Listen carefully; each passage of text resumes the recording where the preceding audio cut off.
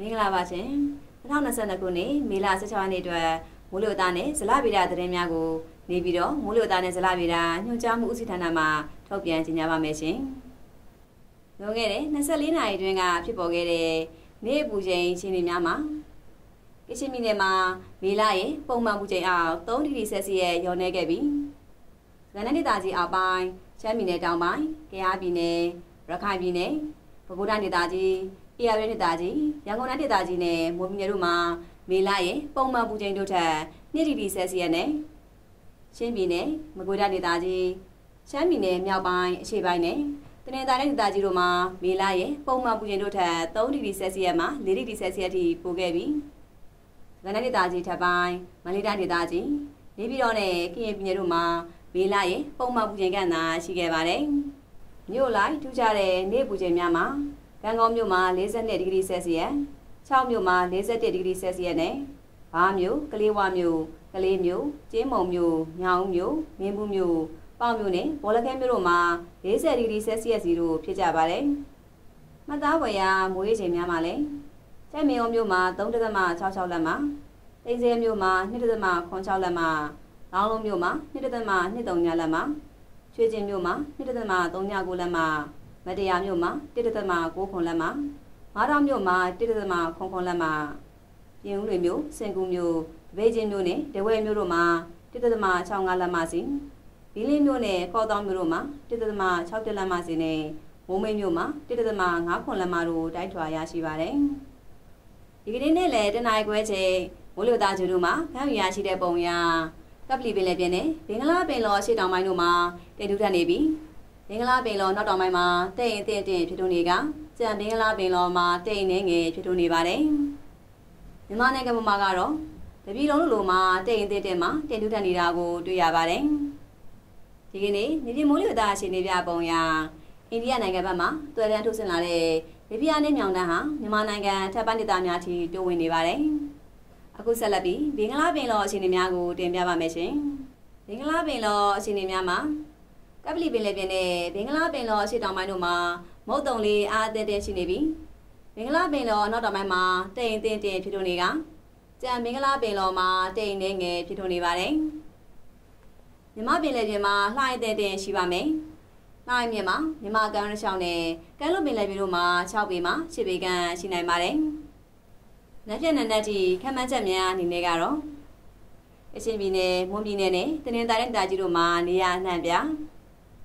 လမ်းဒေသကြီးထပ်ပိုင်းရှမ်းပြည်နယ်မြောက်ပိုင်းရခိုင်ပြည်နယ်ပဲခူးတိုင်းဒေသကြီးရန်ကုန်တိုင်းဒေသကြီးအေရဒေသကြီးနဲ့ကရင်ပြည်နယ်တို့မှာနေရာစိတ်စိတ်။လမ်းဒေသကြီးအောက်ပိုင်းမန္တလေးတိုင်းဒေသကြီးရှမ်းပြည်နယ်အရှေ့ပိုင်းတောင်ပိုင်းနဲ့ကယားပြည်နယ်တို့မှာနေရာကျကျနဲ့ရှမ်းပြည်နယ်ပဲခူးတိုင်းဒေသကြီးနဲ့နေပြည်တော်တို့မှာနေရာကွက်ကြားမိုးထေချုံရပြီးကချင်ပြည်နယ်မွန်ပြည်နယ်နဲ့တနင်္သာရီတိုင်းကြီးတို့မှာနေရာကွက်ပြီးမိုးကြီးနိုင်ပါတယ်။ အခုဆက်လက်ပြီးမနေ့ပြန်အတွက်တနင်္သာရီနဲ့ပြည်နယ်များရဲ့မြို့ကြီးများလိုက်ဖြစ်ပေါ်နိုင်တဲ့မိုးလေဝသနဲ့ဇလဗေဒခန့်မှန်းချက်များကိုတင်ပြပါမယ်ရှင်။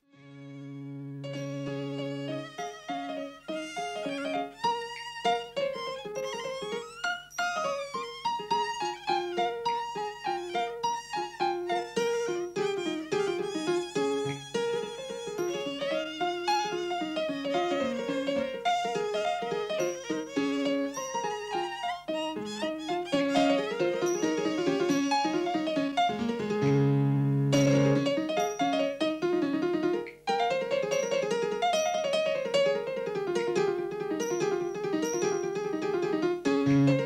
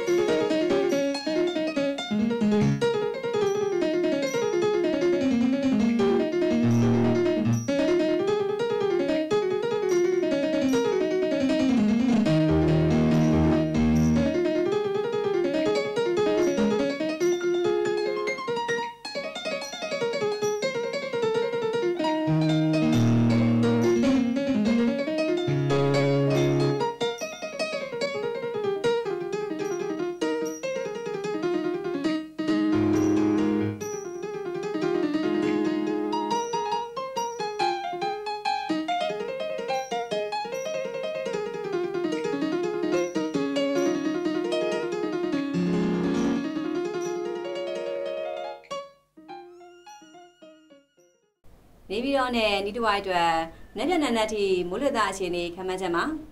နေရာကွက်ကြားမိုးထစ်ချုံရွာနိုင်ပါတယ်။အမြင့်ဆုံးပူချိန်မှာ34ဒီဂရီဆယ်စီယပ်63ဒီဂရီဖိုင်ဟိုက်နဲ့အနည်းဆုံးပူချိန်မှာ26ဒီဂရီဆယ်စီယပ်89ဒီဂရီဖိုင်ဟိုက်ရှိနိုင်ပါတယ်။ရန်ကုန်မြို့နယ်နီးတဝိုက်အတွက်နေ့ပြန်နက်ထိမိုးလေသားအခြေအနေခန့်မှန်းချက်မှာနေရာကွက်ကြားမိုးထစ်ချုံရွာပါမယ်။မြင့်ဆုံးပူချိန်မှာ35ဒီဂရီဆယ်စီယပ်65ဒီဂရီဖိုင်ဟိုက်နဲ့ အနည်းဆုံးပူချိန်မှာ25ဒီဂရီဆယ်စီယပ်89ဒီဂရီဖိုင်ဟိုက်ရှိနိုင်ပါတယ်။မန္တလေးမြို့နယ်နီတဝိုက်အတွက်နေ့ပြန်နက်နက်ထိမိုးလေသားအခြေအနေခန့်မှန်းချက်မှာ